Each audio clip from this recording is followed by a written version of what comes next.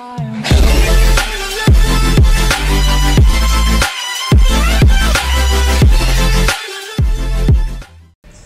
guys, what's up? I'm back with some Blade and Soul. Today I'm playing on my gunslinger with Flame build. I built a new computer, so it should be less laggy. I'm running Naryu Foundry normal mode with my friend Youngdrum, who is a Hamu 12 Force Master. I feel like I forgot all the mechs for the in this game, because I haven't played it for a long time. Last time I played this game was like about a month ago. That was when my last Blade Soul video, which is the Gunslinger. Be sure you subscribe for more content. And yeah, enjoy watching this video.